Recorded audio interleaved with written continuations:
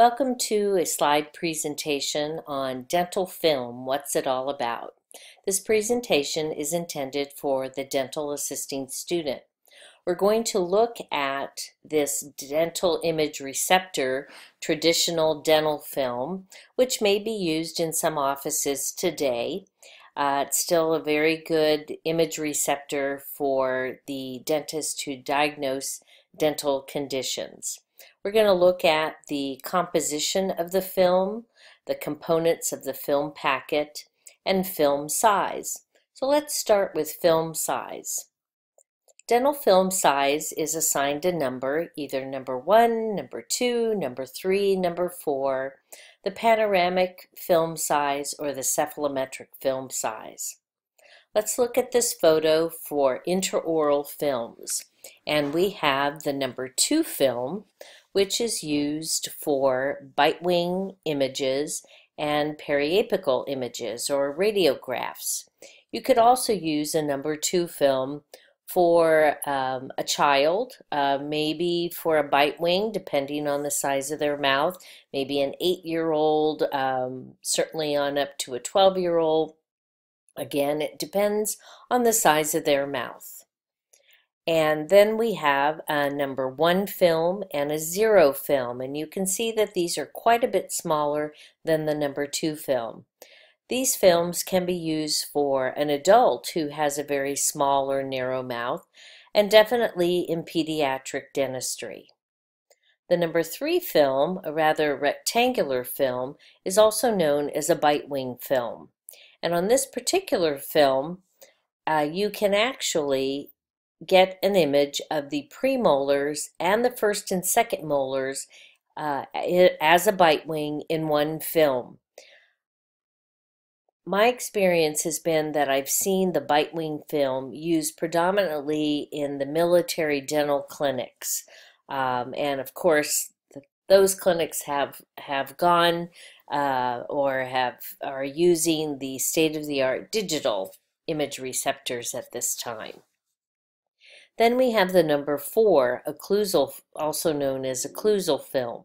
And this film will allow us to uh, take an image, obtain an image of the entire maxillary arch, dental arch, or the entire mandibular dental arch, um, also including the palate and the floor of the mouth. For our extraoral film size, we have panoramic film, and you can see that it comes in various widths and lengths. And we have the cephalometric film, another extraoral film, that's usually an 8 by 10. Let's have a little quiz and see if you can determine which film size is used for each type of image or radiograph. So in this first example, take a good look at the teeth. You have to recall your, if you're a student, you recall your dental um, anatomy and uh, types of teeth and the dentition. Our next example, we have premolars and kind of a molar and a half in this bite wing, but it's very um, oblong or rectangular. Here we have images of the maxillary dentition and the palate and the mandibular dentition and the floor of the mouth. In this full mouth series, we have a film which would show um, a periapical film showing the entire tooth and surrounding uh, structures. And then we have smaller anterior images in for this particular full mouth x-ray uh, radiographs. So I've given you some examples here. You can stop the slides and see if you can answer those. Well, I'm going to answer them for you right now. So in our first example, it's kind of hard to tell from this photograph, but it could be a number one or actually it could be a zero. Our next one has the premolars and a molar and a half, so to speak, and that's a number three film, a size three film. Then we have our occlusal films, which are a number four using a number four film. Our periapicals will use a number two film. And then we have several smaller images here for the anterior teeth, both maxillary and mandibular, and that most likely is a number one film. Our next film size so here is a profile in the cephalometric film. And we have that. I didn't give you a chance, did I? Okay. And then we have this other film, which by default is the panoramic film or process of elimination, the panoramic film. And you can see quite a bit on a panoramic film, both dental arches, uh, the TMJ, the maxillary sinuses, the inferior border of the mandible. So it's very important to have the proper film size in order to have a diagnostic quality image for the dentist. Film packaging information. One of the reasons I'm presenting film packaging information is because as dental assistants, we usually order products for the dental office. And we have to have some information so that we order and purchase the correct product. So we've looked at film size, so that's important to know when you're ordering dental film. And it's usually listed on the box, either size 0 or 1 or 2 or number 4, or if you had panoramic film. Some packaging has a film code. So in this case, um, IP01, so it's a zero film size and there's one film in each packet. And then here is a 1-1, so a number one film. Um, here's a number two size film. And the dental film 50 was just a particular uh, code for this film. The amount of film is in the package. You either have, this one has 25 film packets. Uh, most of them have 150. Uh, sometimes it depends uh, on the film packet itself. If it's double, it may only have 100. So here you have to know whether you're ordering packets that have only one film inside of them or two. Film speed. These days, film speed is usually um, ultra speed, and we will talk about film speed in the next slide, but it is important that you're ordering the uh, most current film speed available. Many times there's an ordering number, or sometimes it's known as a reference number. So instead of uh, all the other information, you could simply order by the reference number or the ordering number. It's also important to know about the expiration date, which is usually on the bottom of the box. Now, this I just gleaned from the internet. This film expired in 2014, August of 2014. So certainly, if you have any old film lying around in your office, um, you want to look at the expiration date because it may not provide a really clear image um, for the dentist. So it's uh, best not to use expired, expired products for our patients. So what is film speed and how does it affect radiographic images? Film speed is actually the uh, amount of radiation required to expose a film and it is represented by a letter. Very common letters are D, E, and F, but some name brands don't use letters, like we saw in the previous slide um, that was termed ultra speed. The film speed is designated uh, to films by a, an, org, an organization called the American National Standard Institute. And it was founded way back in 1918 to oversee standards for various products, not just dental film, but various products in various industries um, to help with conformity and safety. So they will report to various other government agencies um, for um, safety in this particular uh, purpose, uh, we want to use the highest film speed to reduce the amount of radiation. The faster the film speed, the less radiation needed to produce an image. So, um, as I said, most likely, um, if you're using and working with a known dental supply company, you are going to get uh, what I would consider in most of us fresh film, so film that's not expired and film that is a um, high or a fast film speed. The film packets themselves. Most of them are poly packets, so they're kind of a vinyl or plastic type packet. We're looking here at the front of the packet. You can see it's plain as opposed to the back of the packet. And that can be very useful, remembering that it's plain in the front uh, for a dental assisting student who is learning how to um, expose radiographic images. Um, and I use the little saying of plain to the PID. So when you place the packet in the patient's mouth, this front side, this plain side, should be toward the PID. Uh, they also make paper packets, uh, which are less expensive than the poly packet, but they also have more of a chance of um, contaminating the film with saliva. So the poly packet is a moisture resistant packet or like a little envelope for the film. Comes in either single or double. Sometimes they're color coded from a company. And in this case, this is a double film and it actually has a barrier around the, the whole packet. So that also will ensure that saliva is not contaminating your film. Now let's look at the components of a film packet.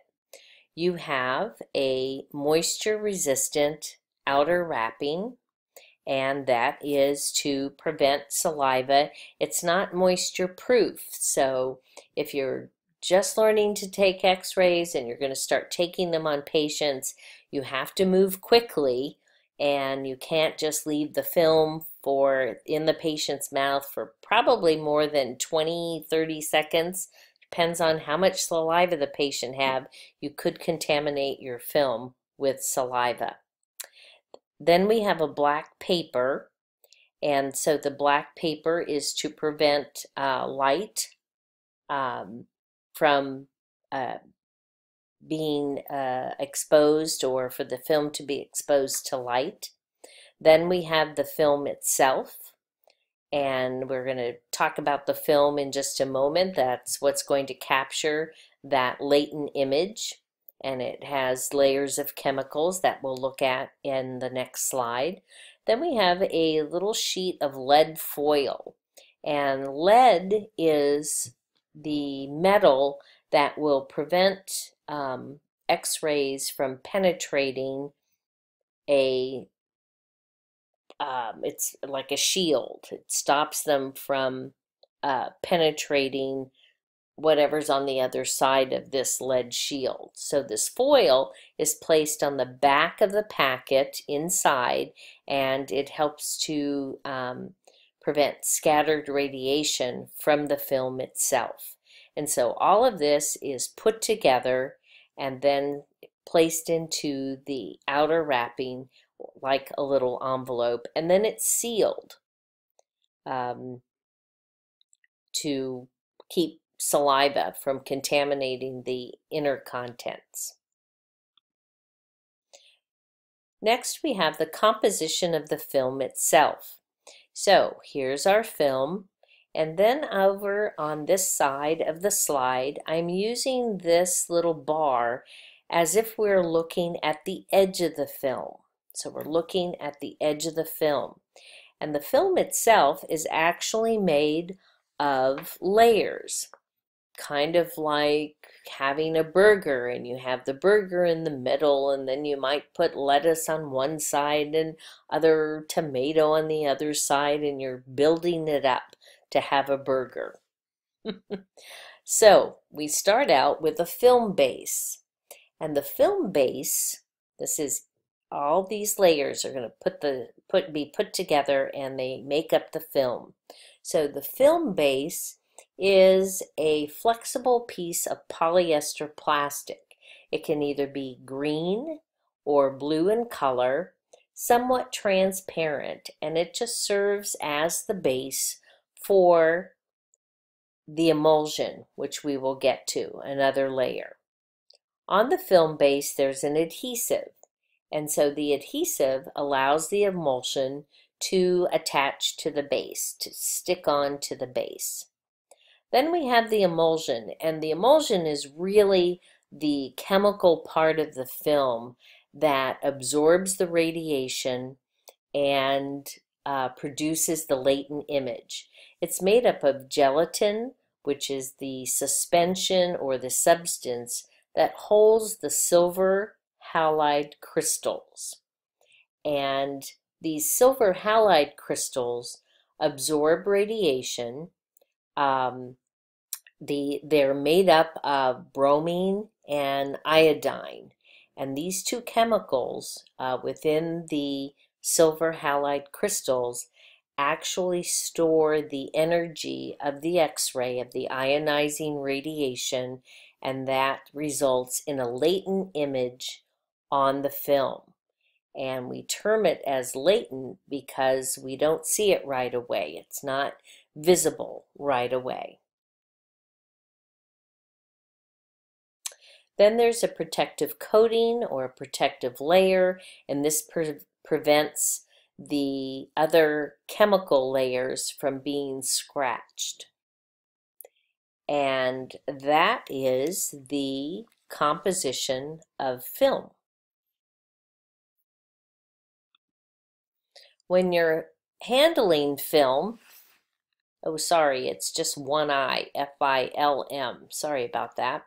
When you're handling film, uh, you do have to have a special environment to handle film that has been exposed, that you've used on a patient for uh, imaging.